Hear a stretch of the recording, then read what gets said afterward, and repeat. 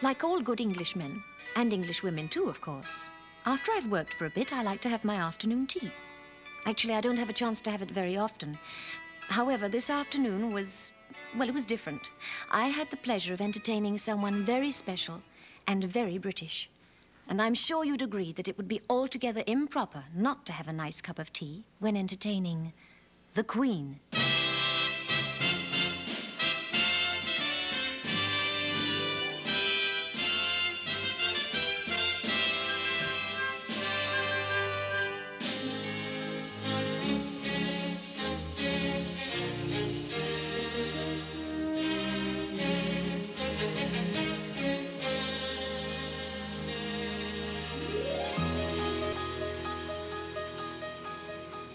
After 32 years as Queen of the High Seas, the Queen Mary has finally stepped down from her throne.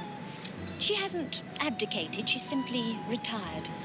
Rather than be torn apart and sold for scrap, she now has a permanent home here in sunny Long Beach, California.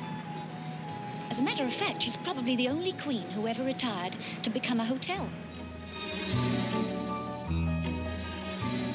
Sail with me to see the setting summer sun and stay with me to see it rise. In New York today, in Liverpool tomorrow, saying all of your goodbyes. And say to those who say to live this way is mad, that mad we'd rather be than wise. Live. Just live for life.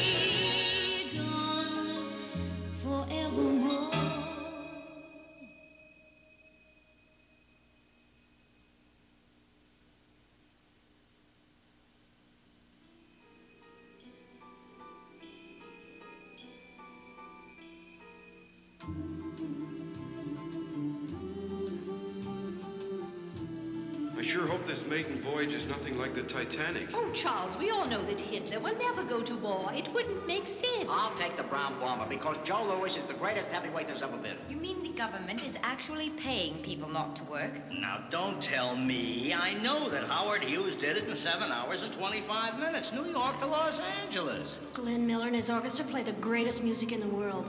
Why, Pamela and I have all of his phonograph records. Well, since Japan bombed Pearl Harbor, the stock market's fallen apart. Jitterbug and jive. I don't know what this younger generation is coming to. In my day, things were a lot different. And you can't get silk stockings for love nor money. Did you know Betty Grable's legs are insured for a million dollars? President Truman ain't nobody's fool. Skirts are going right down to the ankles again. Once they've pushed the North Korean troops back to the 38th parallel, the war will be over. Oh, come on. There's no such thing as flying saucers. Has it been 32 years?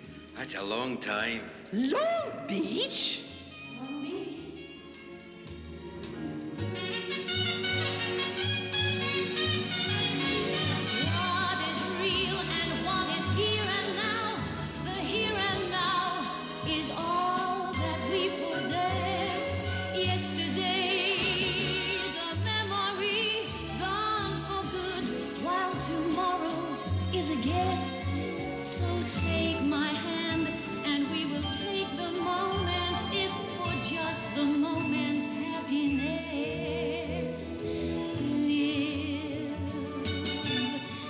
Just live for